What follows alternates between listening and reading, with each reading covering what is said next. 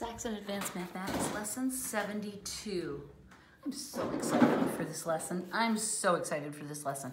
I teased it to you way back in Algebra 2 Lesson 43. So that was a long time ago and we're finally at this point. Um, let me do a little bit of foundation building before we jump in.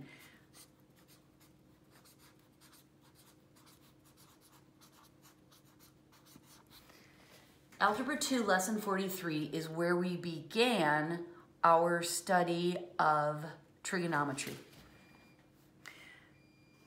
The trigon part stands for three angles,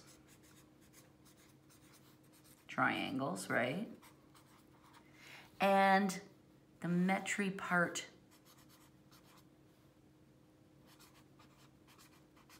suggests measuring. And we have indeed been studying trigonometry, which is the study of the measures of triangles.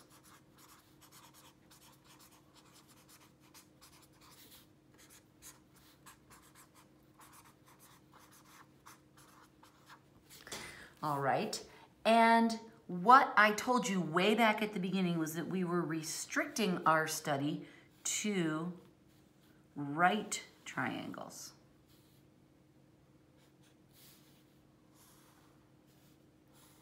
So here are a couple right triangles that we're going to talk about. And what we learned is that every triangle has six parts. It has three sides and it has three angles. And that adds up to a total of six parts. And what we found is that we can, given the right information, we can quote unquote solve a right triangle, meaning we can find all six parts if we have, I'm gonna tell you what we need. To solve a right triangle, that means to find all six parts, we need one side and then one more side, side, or an angle. Okay, these are the two things we need. One side for sure, and then one more piece of information, either a side or an angle, all right? Uh, and I can show you that that's true. Let's say that we have one side and one angle. We know that we can use trig functions with this to find the other pieces. Like for here, what I would do, and there's different ways you can use the information, but I would say, oh, the cosine of 50 degrees is gonna be 4, the adjacent, over h, the hypotenuse. So for this one, I would do cosine of 50 degrees equals 4 over h. And then I could cross multiply and rearrange this so that I got h equals 4 over the cosine of 50 degrees. That's how the algebra would let me do that. Then I could solve for h and I would be off to the races, right? I could do lots of other things from there. So this is an example of one side and one angle. What if we had one side and another side, but we didn't have any angles. Well, according to my list here, we should still be able to solve it. And we see, yeah, we could do cosine of x degrees equals adjacent 4 over 5, right?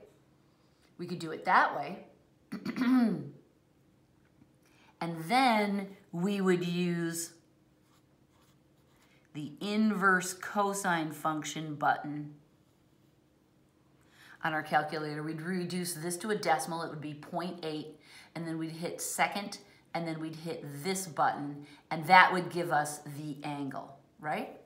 So I'm just reminding you of times when we have been able to solve right triangles using either a pair of sides or one side and one angle, all right? We have to have at least one side in order to make it work. Okay, so this is what we already know. This is what we've been doing. And reminder, this has been with right triangles, right?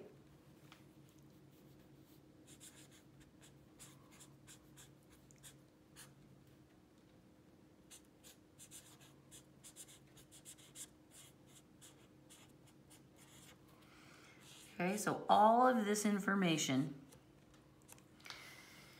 applies to right triangles. Let's turn the page into our new lives as people who talk about trig functions for what we call oblique, which is to say not right triangles. Up until now, starting with that lesson 43, back in Algebra 2, I've always told you that trig functions apply to right triangles only. But when I first told you that, I said the day is going to come when we learn how to use trig functions for other kinds of triangles, and my friends, that day is here. So let's look at how that works. Let me draw a non-right triangle. None of those angles are right angles. We're going to call them A, B, and C.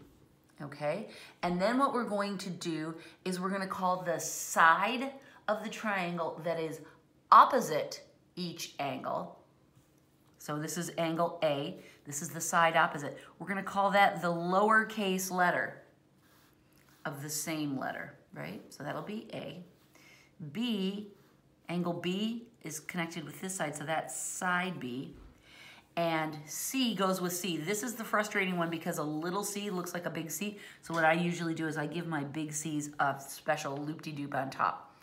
Notice that the angles are all uppercase and the corresponding sides are the matching letter, right? A, B, and C, except the sides are lowercase letters and the angles are uppercase. Okay, to solve.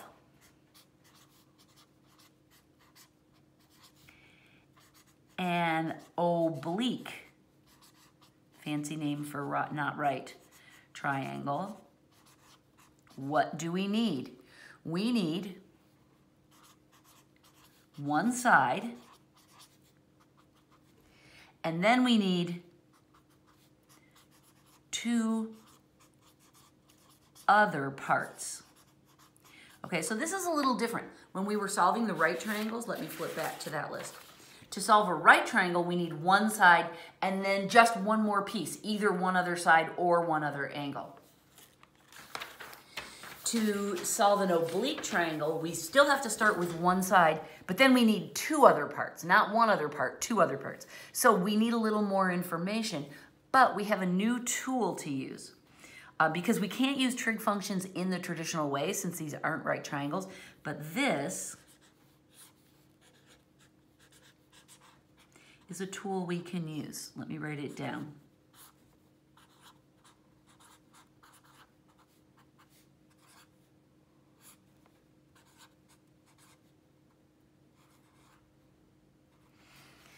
This is called the law of sines. What we're doing is we're creating fractions of the side over the sine of the angle, right? This side over the sine of this angle, this side over the sine of this angle, this part, and then here, this side over the sine of that angle. Notice that these three things are equal. We don't have to have all three of them. We can have any two. This is just the easiest way to write out the whole thing. And again, this is called the law of sines. And we use any two parts of this formula, right? We can make the A's equal to the C's, we can make the A's equal to the B's, or we can make the B's equal to the C's. Whichever pieces we have, we can take any two of them and create a proportion, solve it, and go from there, all right? So we don't have to set up all three of them, just any two out of the three.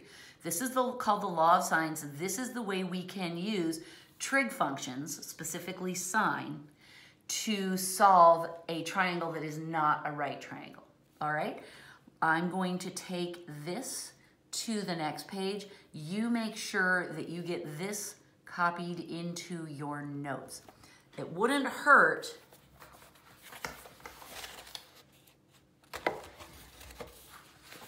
Make sure you get all of this copied too, right? Because this is how we compare the way we've been using trig functions to the way we are now using, we're now going to start using them, all right? So what I'm gonna do is I'm gonna give you a chance to copy any of this into your notes that you didn't get. I'll pause for a second and you can pause the whole thing if you need to.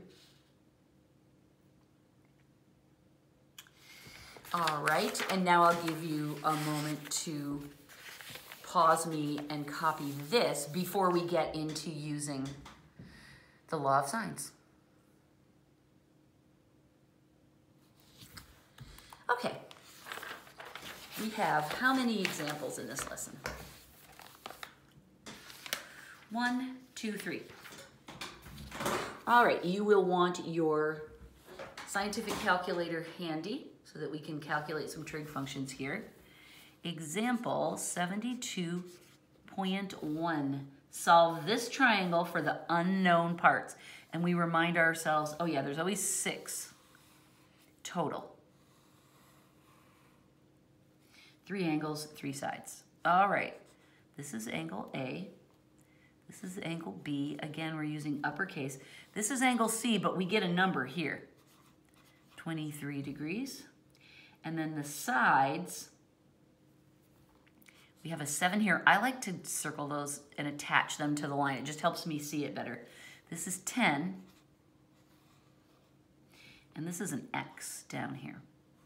So John's not calling them A, B, and C in this one. All right, fine, we can roll with that. Um, what are the rules for solving an oblique triangle?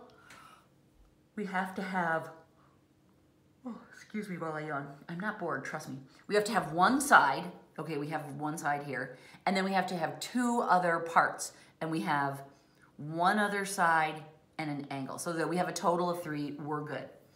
All right, so how are we going to start setting up these proportions? I'm gonna rewrite our law of sines. And again, we don't have to have all three. We have to have, we can create any two of these together. And just like we often do in proportion problems, we're looking for an anchor proportion. If we can find an angle and its corresponding side where we have solid numbers for both, it's gonna make our job a lot easier. So, we only have one angle. So I'm praying that we have the side opposite, and look, we do. So this will be our anchor proportion. 7 over the sine of 23 degrees is going to be where we start. Now, I will just remind you that we can't get the angles by subtracting from 180 because we only have one out of the three and they add up to 180, yeah, but we don't know how to split those out. So that's not gonna work. All right, so let's start by doing it with this angle. Let's say this equals 10 over the sine of A degrees. Okay, so then what do we do? Well, let's cross multiply. Whenever we have fraction equals fraction, it's a great idea to cross multiply. So we'll get 7 times the sine of a degrees equals 10 times the sine of 23 degrees. Here's my variable. So I'm going to divide both sides by 7 to get rid of that. And we'll get the sine of a degrees equals 10 times the sine of 23 degrees over 7. This we can take into the calculator and simplify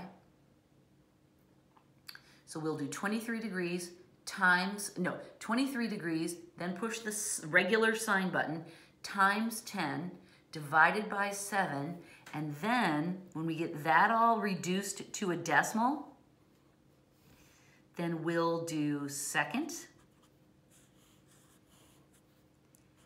and sine of minus 1. Remember, this is the button we use when we know the decimal, which we return this into a decimal number, and we want the degrees. Okay, that's what these inverse buttons do for us. Seeing that minus one makes many, many, many a student think that this is the reciprocal function because minus one means, right, push it, it's a trapeze, they see that as a trapeze. No, the calculator maker guys, the people who designed the buttons for the calculators, weren't thinking that way. They were just trying to find a way to say, hey, here's a different way to use sine. Inverse sine. That's what this button is called.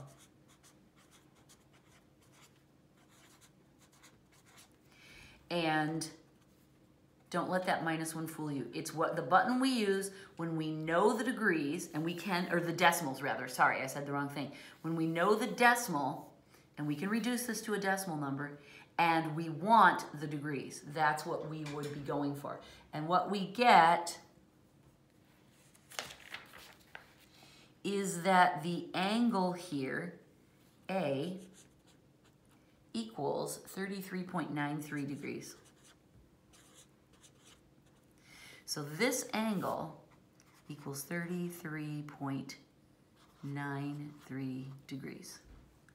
Okay, great. Now,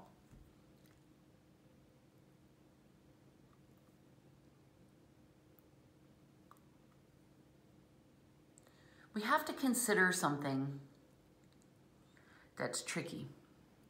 It's kind of tricky. We have to consider the idea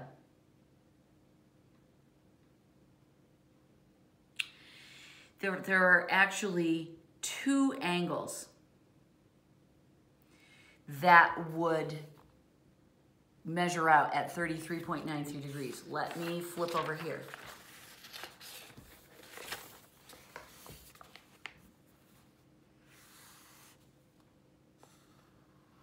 Sine is positive in the first and the second quadrant.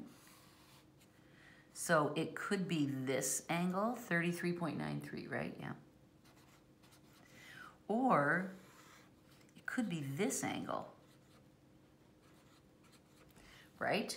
It could be all the way to here. This could be the full angle of the triangle that we're talking about. It would still measure out as this many degrees, and we would have to subtract it from 180 and find that is 146.07 degrees. So how do we know? This It could be 33.93. It could be just a little cute angle like this, or it could be a bigger one that goes all the way over to there. That angle, this 146 degree angle, would have the same sine value and so how do we know which one it is? This is called, this is a problem with the law of sines. It leads to what we call ambiguous results. Okay, the number, the numbers that we used led to two values for an angle and we have to figure out which is correct.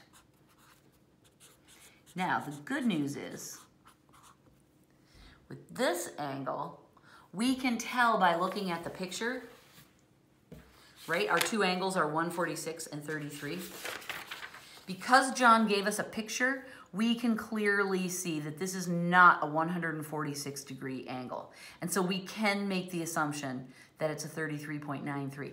In problems where John doesn't give us a picture, we'll have a different situation on our hands. But for now, we can see, oh yeah, that's, a, that's the smaller of the two angles. It doesn't go out like this, right? Um, so we can conclude it's 33 and we can discard the other result, okay?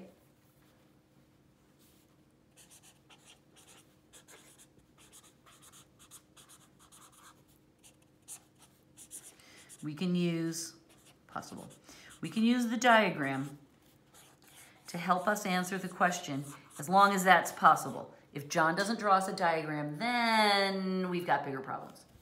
Okay, so let's go back to our original problem. See what we've got. We now have two of the angles, so now we can do the old 180 minus, right? So let's use that flipping ahead. So let's see, our total, it's 180 degrees minus the two angles that we have, which, let's see, the one that we started with was 23 degrees. And then the one we just did was 33.93. What the heck, let's leave all those decimal in there. Um, this will give us angle B. Okay, and so angle B works out to, when I do that subtraction, it's 123.07. Okay, I'm gonna redraw the triangle so I don't have to keep flipping back every hot minute. So it was like this. This was our 23 degree angle. We called this one A, we called this one B. Uh, this side was 10. This side was 7, and we figured out that this was 33.93. Okay, so what we did was we figured out B by saying 180 minus that minus that. So B equals 123 0.07 degrees. Let's put degrees on all of those. Okay, good.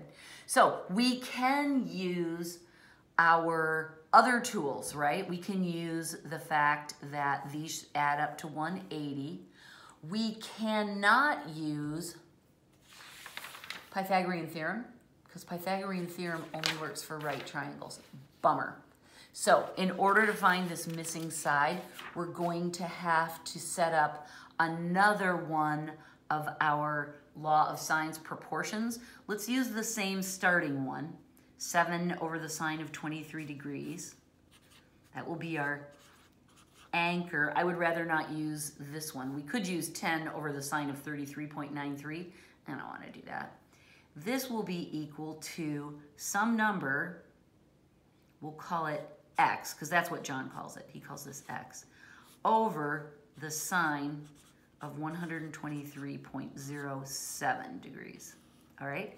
When we have the variable up here, our calculation is a bit simpler. All we have to do is cross multiply and then divide away the part that's by the x, and we will get 7 times the sine of 123.07 degrees divided by the sine of 23 degrees. That will be equal to x. That is a lot of button pushing, but we can do it, right?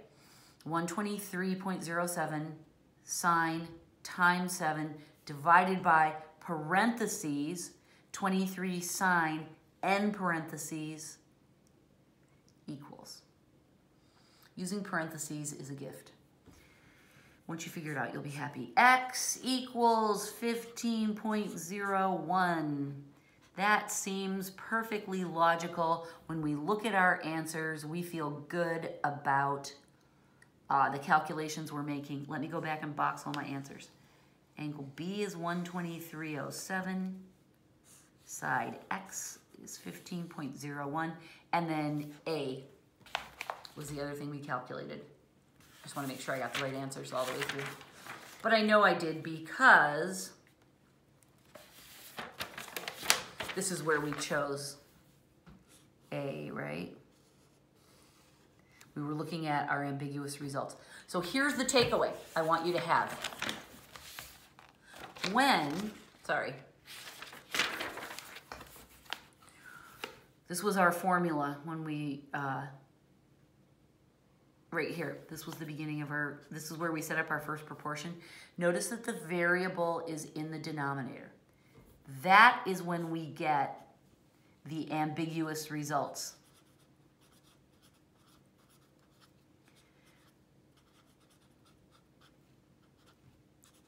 when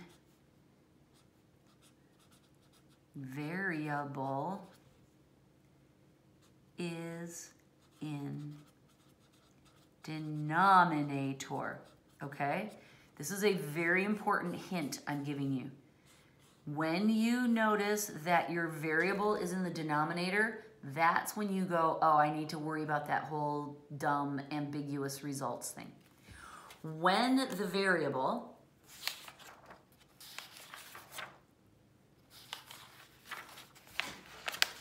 This was our second law of sines calculation. When the variable is in the numerator, no ambiguous results. When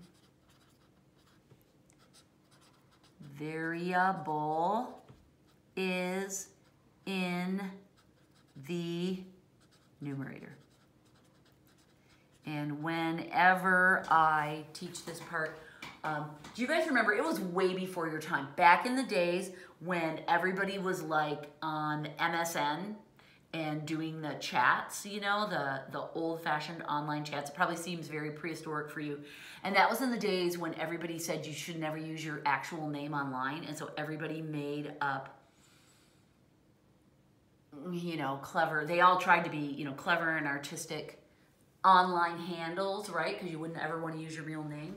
Um, one of my daughters used the name Ambiguous Reason as her MSN chat name. And that, I always think of it when we talk about this. Ambiguous Reason was her name.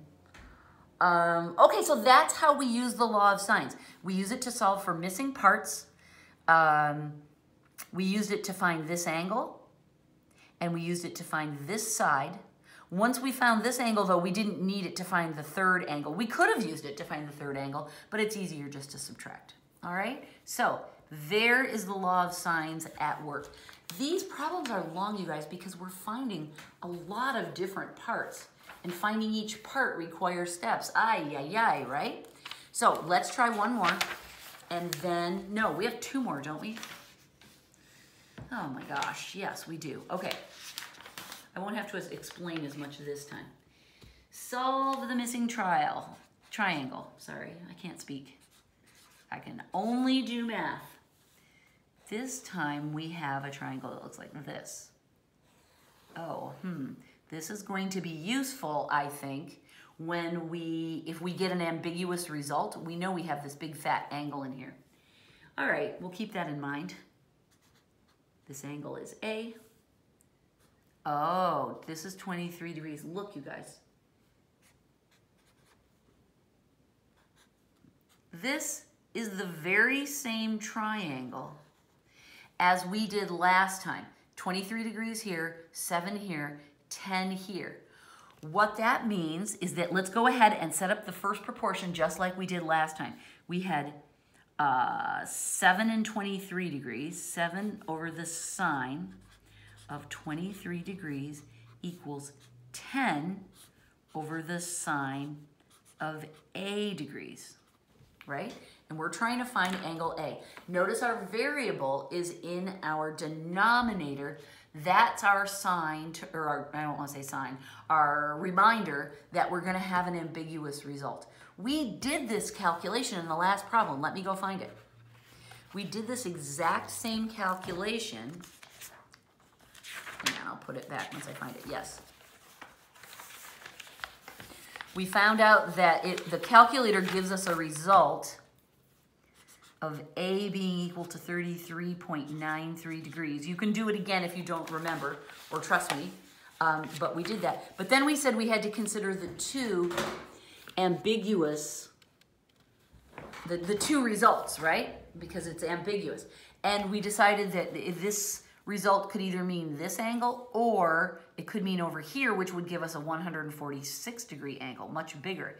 And we see, oh, in this triangle, we would want to choose, see, it's 146.07. I'm mentally subtracting this from 180 to get that, right? We did it over here, and so now I'm showing you how it would work over here.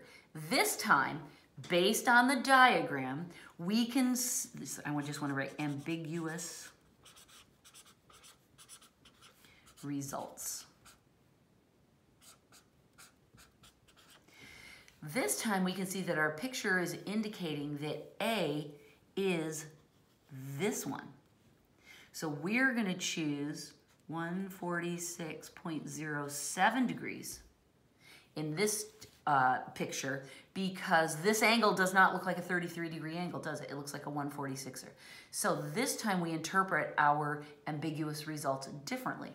We choose the larger angle rather than the smaller angle, which is what the previous diagram indicated. Again, if we don't have a picture, we have to handle this situation differently. We'll cover that in a future lesson. Okay, so now when we want to get angle B, this one, we do 180 minus, and it's the 23 degree angle, plus the 146.07 degrees.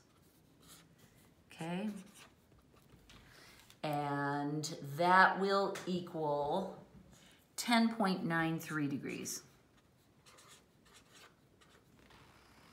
for B. And that looks about right for this diagram, doesn't it? This should be a pretty tiny little angle. These two should be roughly the same. This one is fat. So we trust our numbers to line up with what the diagram is showing us. Okay, beautiful. Our last step is to find this side. In the picture, John's calling it X, just like before. So this time we'll use our same original anchor proportion, even though now if we wanted, we could use 10 over the sine of 146.07. But let's stick with this one. We'll use that as our anchor. 7 over the sine of 23 degrees equals, and we're trying to get this and this, so it'll be x over the sine of 10.93 degrees, right? This is the other pair that we're using and we're just hoping to solve for x. Okay, so there we are, we're all set up. Notice this time we see the variable is in the numerator. Yay, no ambiguous result. We don't have to worry about that. We simply cross multiply, cross multiply. We cross multiply and then we'll divide away the part so x is by itself. Shove it into the calculator. Here, let me just show you. It would be, it would be x equals 7 times the sine of 10.93 divided by the sine of 23 degrees, and that would give us a value for x of equal to 3.40, okay? Again, you'll need parentheses to do the bottom part of that. It may take you a little fiddling around. Remember that if you ever get frustrated with your calculator, Google for a tutorial or something like that. Um, look around online. You can find people who can teach you how to use your specific calculator. If you're befuddled, also you can always reach out to me when we video chat and just ask me to show you how to do it. Because um, there's nothing worse than when it's the calculator that's causing you drama. 3.40, yeah, that seems reasonable. If this side is seven and this side is 10, this, I've probably drawn it a little bit bigger. If you look at the diagram in the book, this side is a little bit shorter. Um, but there's our right answer. And so we found all six parts of the triangle, right? We've got all three angles and all three sides. and we dealt with that crazy ambiguous reason thing. It's not ambiguous reason, that's my daughter's name. Ambiguous results. Okay, one more. I'm almost to the end of this crazy little foldy book. Ready? Example 72.3.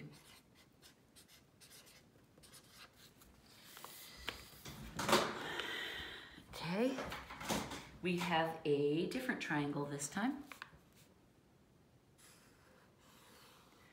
It's oblique, it is not a right triangle. Here we have one of the sides. Remember, we have to have one side. And then we need two other pieces. And in this case, John has given us two of the angles.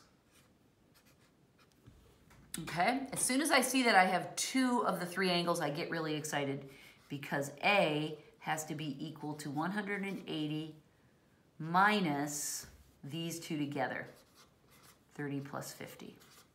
So A equals 100 degrees. And we can put that in.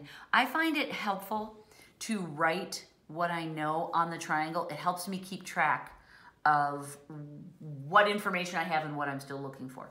So now we've got all three angles. This is degrees.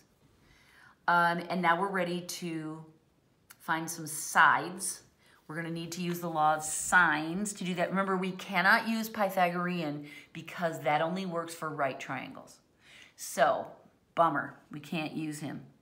Um, but we can see, okay, here's our anchor proportion. Here's where we have a match. So we're gonna say seven over the sine of 30 degrees equals, oh, let's do, let's do this one first. M over the sine of 50 degrees. And then we can do the other one. This will be one of our sides. And then the other side calculation. I'll leave us some room to work. But what I'm doing, and I like to do this in when I'm actually, you know, if I was a student doing my homework, get up, do all the writing first, then pick up your calculator and run all your calculations at once. Then I'm going to use my same anchor proportion, 7 over the sine 30 degrees, and then I'm going to set that up to solve for k, which will be k over the sine of 100 degrees. Great.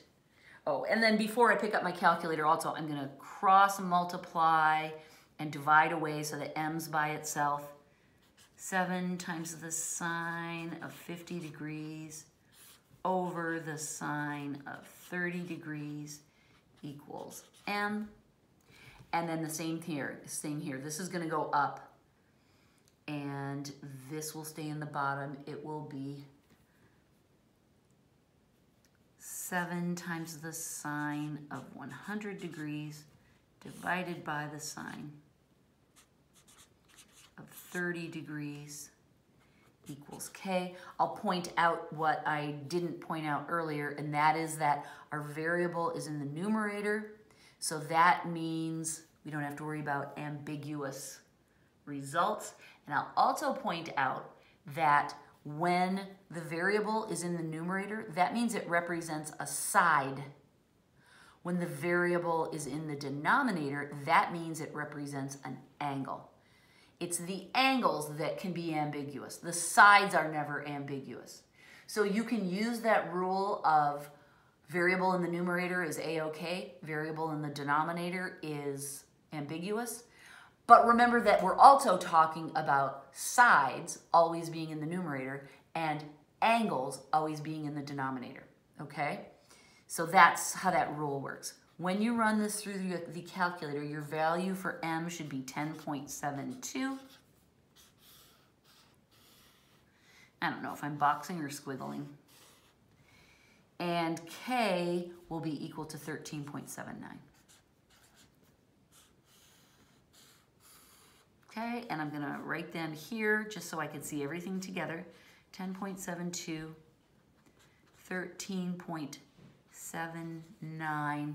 This side is seven. Yeah, that looks reasonable. If you look at the picture in the book, it comes out a little bit more. So it makes even more sense. These numbers make a little more sense. And the angles look good too, don't they? They seem reasonable. So, plus they're right. I have the answers open in front of me, so I'm not worried. Okay, that is the end of this lesson. That is the law of sines. That is how we can use at least one of the trig functions. Spoilers, there's a law of cosines too, but we're not talking about it yet. So right now we've only learned how to use one of the trig functions in triangles that are not right triangles. And we call those oblique, right? That's just a fancy word that means not a right triangle. So we can, under very special circumstances, we can use at least one trig function in a non-right triangle. And these are happy days, you guys. Like I said, it was lesson 43 of Algebra 2 when I first told you that trig functions maybe could work in non-right triangles, but that it would be a long time before we talked about that. Well, the day has come. Yay. Okay, I'm done. Thank you. Goodbye.